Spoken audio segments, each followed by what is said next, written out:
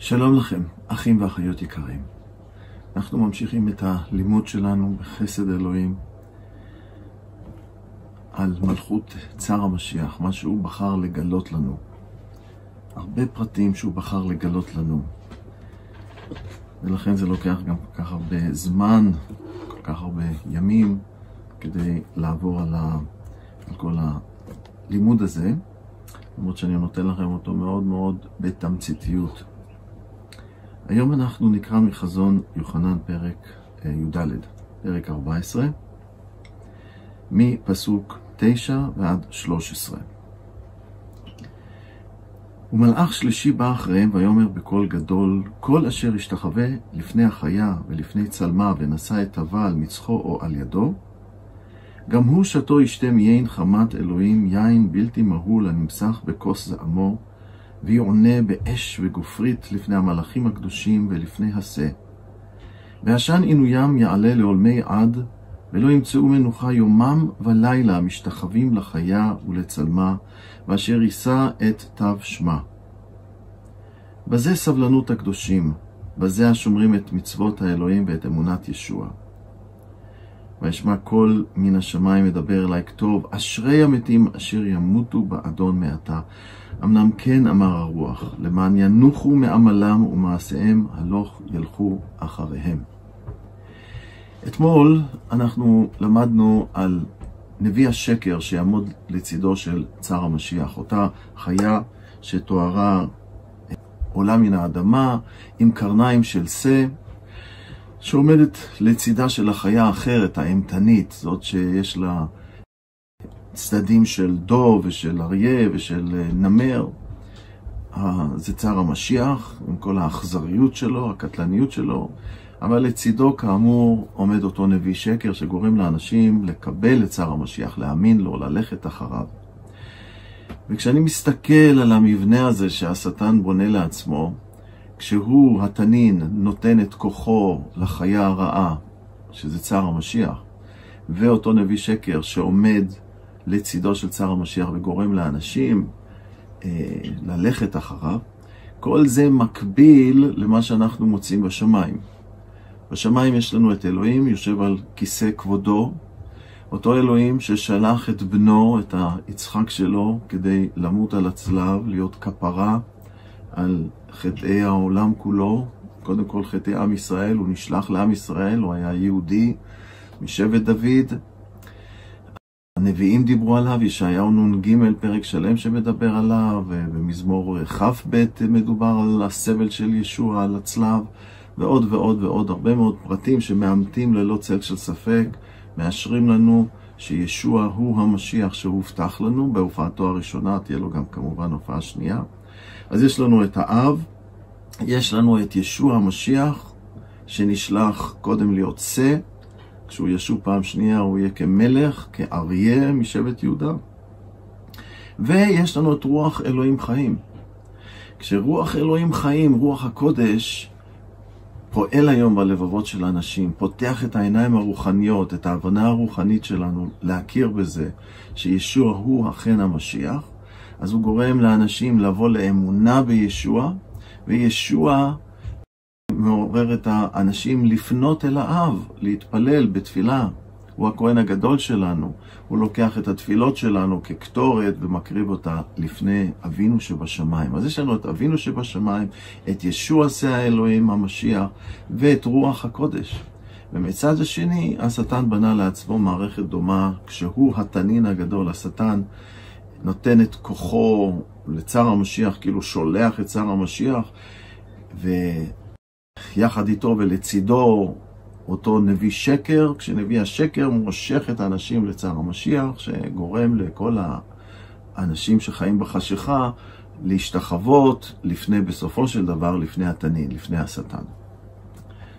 יש לנו איזו מערכת מקבילה, וזה אופייני לשטן שהוא מנסה לחקות בזיוף, לחקות את כל מה שאלוהים עושה בדברו. ואז אנחנו קוראים את המשפט, את הסוף של צר המשיח, זה לא המקום היחידי שמדבר על כך, אבל זה, אנחנו הולכים לפי סדר הפרקים פה, בחזון יוחנן פחות או יותר. ואנחנו קוראים פה מה יהיה, יותר נכון כרגע, המשפט יותר ספציפי של האנשים שיקנאו, שיקבלו את המלכות הזו של צער המשיח, שיקבלו את התו על יד ימינם או על המצח, שיסכימו להשתחוות לפניו, שלא יהיה בהם את ה... לא תהיה בהם האמונה ולא הכוח לעמוד נגדו. אז כתוב לנו ככה, מלאך שלישי בא אחריהם ויאמר בקול גדול, כל אשר ישתחווה לפני החיה, זה צער המשיח, ולפני צלמה, הוא יכפה את זה, את ההשתחוויה הזאת, כפי שקראנו ולמדנו אתמול בפרק י"ג, וכל מי שלא יעשה את זה ימות. אבל מצד שני, כל מי שכן יעשה את זה, ונשא את טבע על מצחו או על ידו, כדי שיהיה חלק מהמערכת הכלכלית ויוכל לקנות או למכור, מאחרת כמובן זה גזר דין מוות, ברעב או איך שזה לא יהיה. גם הוא, גם מי שיעשה את זה, מי שיקח את התו הזה, מי שייכנע ומי שישתף פעולה עם צער המשיח, גם הוא שתו ישתה מיין חמת אלוהים. הכעס של אלוהים מדומה פה לכוס של יין, יין בלתי מהול הנמסך בכוס זעמו, ויעונה באש וגופרית לפני המלאכים הקדושים ולפני העשה. זה הנצח בגיהנום, באש עולם. יש גיהנום, יש אגם האש, יש לזה כל מיני שמות, אבל זה אותו דבר, זה המשפט של אלוהים על כל אלה שבסופו של דבר בחרו, בחרו לדחות את אלוהים, לא רצו להאמין בו. ועשן עינוים יעלה לעולמי עד, זה דבר מפחיד. אנשים חיים היום כאילו שהחיים נגמרים פה ועכשיו אחרי ה-84, 5, 6 שנים. אם הם בכלל זכו לחיות את כל השנים האלה, והם חושבים שזהו, הם לא יודעים מה קורה אחר כך. התנ"ך בפירוש אומר לנו מה קורה אחר כך, ואם התנ"ך ניבא לפני אלפי שנים אה, את שיבת עם ישראל לארצו, וזה קרה לנו במאה השנים כנגד כל הסיכויים, אין אח ורע לדבר הזה.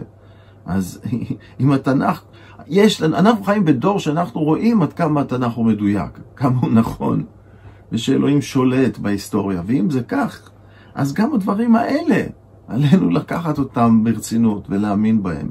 כן? זה רק הגיוני.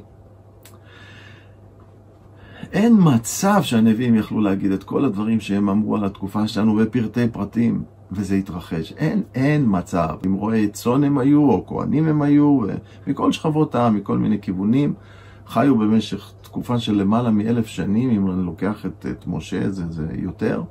שנים חיו בהפרשים אחד מהשני, ניבאו נבואות ונתנו פרטים משלימים על התקופה שאנחנו חיים בה היום ומה שהולך לבוא עוד מעט, מלחמת גוג ומגוג וכל המציאות שאנחנו חיים בה. שהעולם נגדנו, שיש אנטישמיות שגואה בעולם, שישראל מגונה באומות המאוחדות, כל הדברים האלה אנחנו מוצאים אותם בכתובים, שירושלים הופכת לבעיה בינלאומית. זה לא הגיוני לא להאמין לתנ"ך, ולא להאמין לכתובים ולברית החדשה. אז כל זה זה דבר אלוהים, ודרך אגב, כולו ניתן על ידי עם ישראל. כותבי הברית החדשה היו יהודים, יעקב ויוחנן ומתתיהו, כמובן ישוע, יהודים מעם ישראל. אז אני ממשיך לקרוא, ועשן עינוים כאמור יעלה לעולמי עד, ולא ימצאו מנוחה יומם ולילה המשתחווים לחיה ולצלמה, ואשר יישא את אב שמה. תהיה בחירה, באותו זמן תהיה בחירה קשה לאנשים. או שאני בוחר להישאר נאמן לאלוהים, גם אם המחיר הוא מוות, כרגע, לי, לילדיי, לאשתי, לאהובים לי, אבל אני לא מתפשר, כי אני יודע שמחכים לי חיי נצח בשמיים, כי אלוהים נאמן, כי אלוהים מראש אמר לי, כמו שהוא אמר לאדם וחווה, ביום אוכלך מעץ הדת טוב ורע, מות תמות. והם מתו מבחינה רוחנית, הם גורשו מגן עדן, הם נותקו ממקור החיים, שזה האלוהים. אלוהים אמר להם וזה קרה, ואלוהים אומר לנו, וזה יקרה. אנחנו רק צריכים להחליט איזה צד אנחנו בוחרים, ואין שום אמצע, אין ניטרליות. זה או שאתה בצד של אלוהים, או שאתה בצד של השטן. אין שום דבר בין לבין. או בגן עדן בנצח, או באגם האש בנצח. תבחר. פסוק 12, בזה סבלנות הקדושים, בזה השומרים את מצוות האלוהים ואת אמונת ישוע. עכשיו, לנו יש תקווה. מה התקווה שלנו כמאמינים? תראו מה הוא אומר פה, פסוק 13, וישמע קול מן השמיים מדבר אליי, כתוב, אשרי המתים אשר ימותו באדון מעתה, אמנם כן אמר הרוח, למען ינוחו מעמלם ומעשיהם הלוך ילכו אחריהם.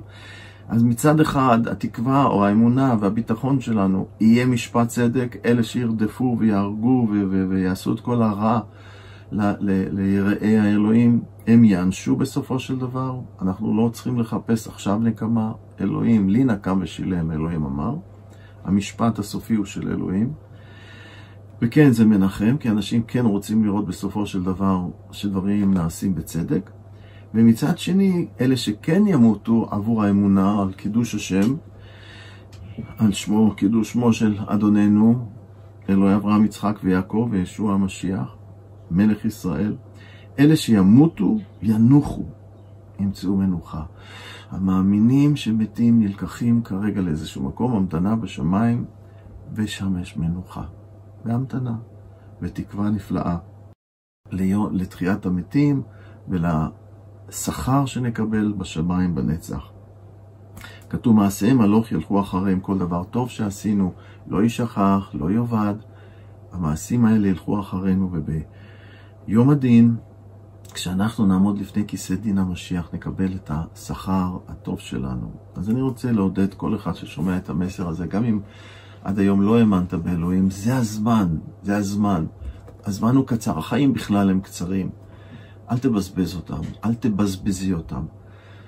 תבחר היום להאמין באלוהים שהוא נאמן, שהוא צדיק, שהוא אל שאוהב, שהוא גם אל קדוש, שהוא אל שהקריב את הכל כדי לפתוח דרך עבורי ועבורך ועבורך להיוושע.